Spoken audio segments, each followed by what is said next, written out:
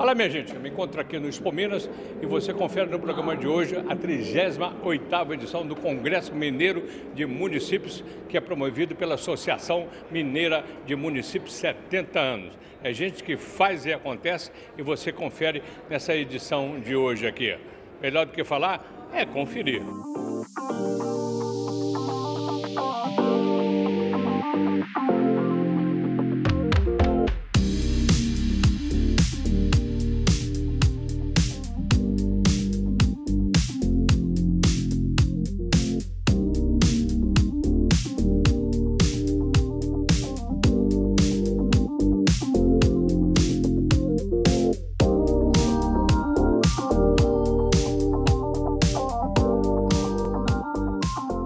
Bem, me encontro aqui no Expo Minas e hoje nós vamos falar da Associação Mineira de Municípios 70 anos fazendo e acontecendo.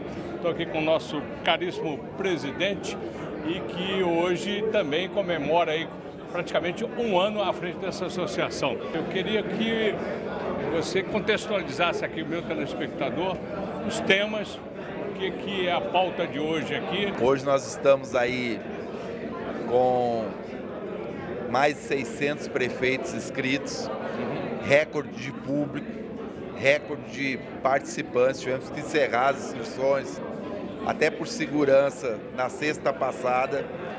E estou há 11 meses aí frente à associação.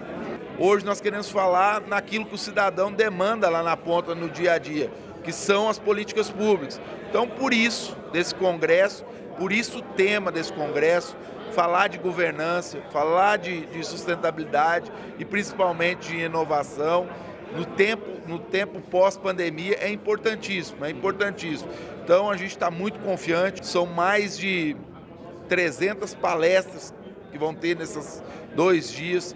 Temos uma palestra importantíssima aqui, que é a questão da reforma tributária, onde que impacta diretamente no cidadão. Bem, eu, eu, vejo, a gente acompanha a Associação Mineira, e independente do Congresso aqui hoje, a gente vê gestões de vocês, a interação exatamente aí com o governo, sobretudo caravanas que se dirigem a Brasília, a seu convite, exatamente defendendo a voz do município. Né? É, tivemos em março também recorde na marcha dos prefeitos, a maior delegação do Brasil foi a Mineira, levamos mais de 2 mil participantes.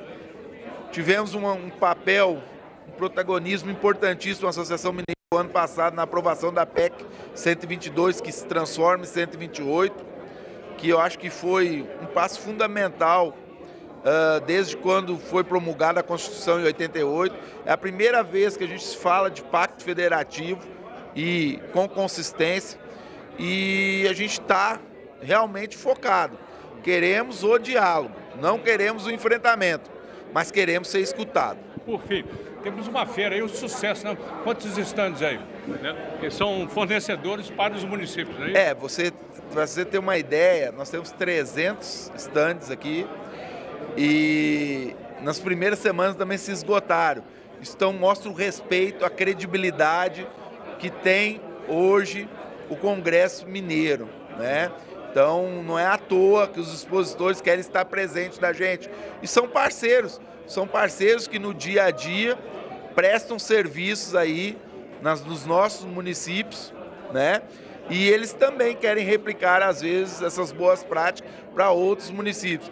Também lembrando aqui, hoje vamos ter uh, outro recorde para a nossa associação, que é a questão de afiliados vão chegar em 803 municípios dos 853.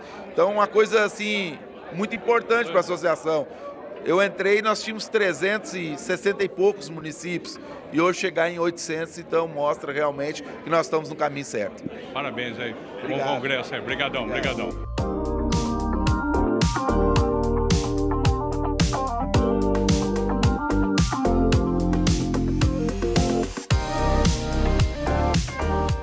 Marcelo aqui, o Marcelo fazendo e acontecendo, Marcelo lado a lado, aqui com a Associação Mineira do Município, o SEBRAE, diretamente também o CDL, mas em prol da melhoria da qualidade de, de vida dos municípios. É isso aí?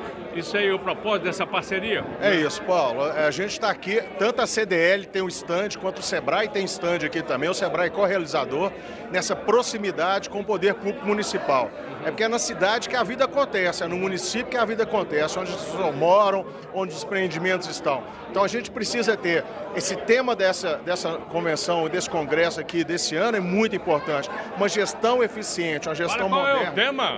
A gestão, né, uma, a, focado na gestão do município, uma gestão de qualidade, gestão moderna, uma gestão inovadora para isso. Né? Nós, empreendedores, precisamos muito que as prefeituras facilitem a vida do empreendedor, ela cria ambiente de negócios é favorável, ela entenda, a prefeitura junto com o Sebrae, entende no município o que, que aquela, o que tem de atração ali de negócios, potencializa o que já existe e traz novas opções para que o município possa desenvolver, gerar emprego e melhorar a renda das famílias. Marcelão, Sebrae fazendo e acontecendo. Prazer, grande abraço. Obrigado, bom trabalho. Obrigado.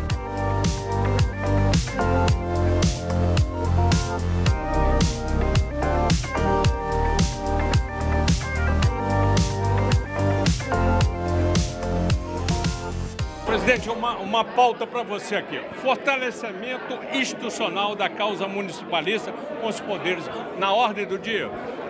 O que existe são as cidades, Paulo. A pessoa não vive no Estado, não vive na União, os problemas estão aqui. E Brasília é sustentada pelos municípios. Está na hora de Brasília nos sustentar. O dinheiro vai todo para lá e não tem voltado. Isso é boa. Hein? Pautas fundamentais. Mobilidade urbana. Não dá para as cidades ficarem tratando de ônibus sozinha. Tive com o Rodrigo Pacheco semana passada. O projeto estava travado dois anos, uma conversa destravou. Segundo, habitação. Essa nova fase do Minha Casa Minha Vida tem que trazer mais recursos, pensando não só em construir conjunto habitacional afastado, mas usar, por exemplo, prédio que está vazio no centro para retrofit. E ainda é fundamental estímulo à economia. Nós precisamos gerar emprego nos municípios, oportunidade, e Brasília tem que largar os problemas de lá e olhar para a gente. Qualidade de vida também na ordem do dia? Com certeza. E qualidade de vida a gente está falando, sobretudo, de melhora em temas que são muito sensíveis, como saúde. Nós viramos, acredito eu, a página da pandemia. Temos que voltar a ter recursos para cirurgia eletiva, para hospitais muito bem pensados e tratados. Isso tudo só vai sair com o fortalecimento dos municípios. O cargo mais importante que existe numa federação de vereador que a gente sabe a dor que está sentindo na rua, na calçada, no bairro, enquanto Brasília está um pouco distante. Então é hora de ouvir a gente e a gente tem que brigar junto a favor das cidades. Dale, garoto. Parabéns aí. Um abração. Valeu, querido.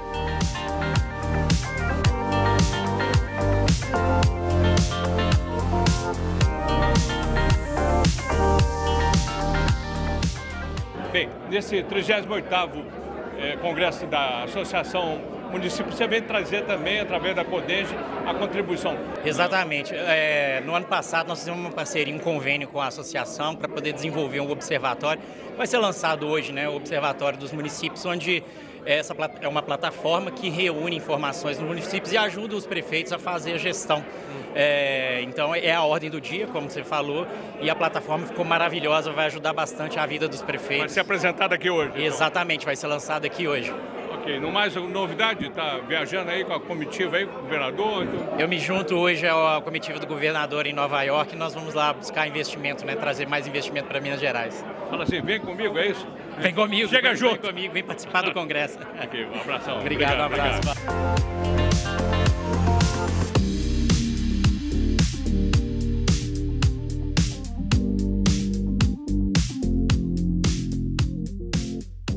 Prefeito, é, hoje todos os prefeitos aqui, todos com uma pauta em comum, né, mas todos com uma reivindicação, ou então uma colocação. Que palavra que é? Olha, é a palavra de aproveitar a oportunidade que estão reunidos tantos prefeitos, tantas pessoas importantes do governo do Estado, é, o mercado que fornece serviço para a Prefeitura, para a gente aproveitar para debater temas que são relevantes. Reforma administrativa, é, subsídio para ônibus, uma série de discussões que estão aí, segurança das escolas, ou seja, tem muito assunto e cada município com certeza tem uma experiência boa. É hora da gente trans, transmitir essas experiências de uns para os outros. Boas experiências precisam ser multiplicadas. Eu acho que esse congresso terá essa oportunidade de fazer isso. trazer para todos o conhecimento de cada um. E aí ampliar isso para toda Minas Gerais. Prazerão. Bem.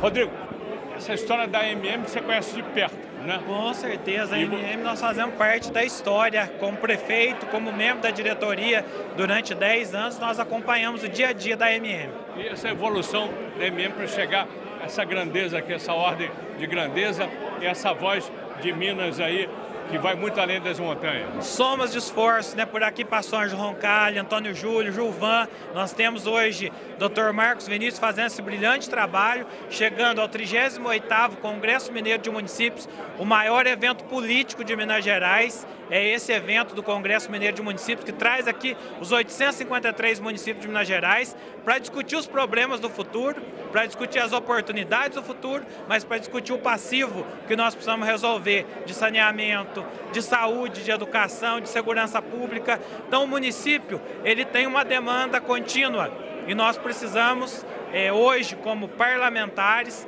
dar as mãos aos municípios e levar adiante porque atendendo a realidade do município, nós estamos atendendo as pessoas que vivem em cada uma dessas cidades. Prazer, grande abraço. Um abraço.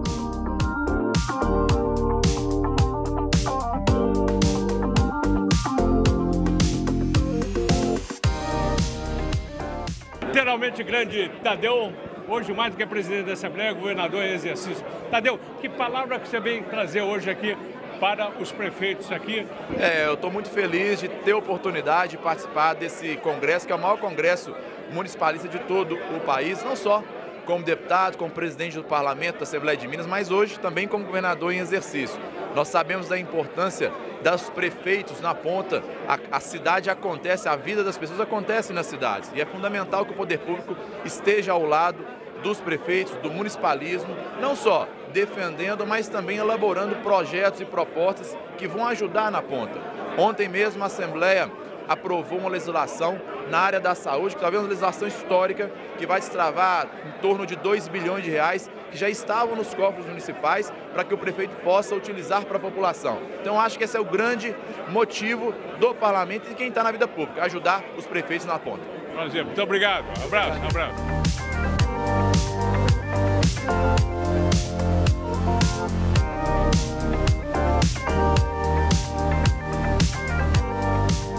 Paulo, você hoje vai trazer uma palavra aqui dentro da visão nacional que você tem da causa municipalista.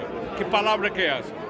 Olha, é muito ampla para tentar resumir em duas ou três palavras. Eu sei que o espaço é curto, mas é toda a pauta. Hoje ela está mais simbolizada na própria reforma tributária e outras questões que começam a ocorrer lá em Brasília e que têm impacto em todo o Brasil. Desde a questão da saúde, da dívida que a União tem com os municípios, isso impacta de uma maneira muito, muito aguda nos municípios do Brasil. Então, essa pauta ela é recorrente na medida que o tempo anda. Então, em nível nacional, nós estamos preocupados com essa, é, não criar despesa nova sem o dinheiro para pagar e ter uma reforma tributária que possa, ao longo dos anos, pelo menos, começar a resgatar a possibilidade dos municípios ter mais autonomia. Obrigado. Obrigado.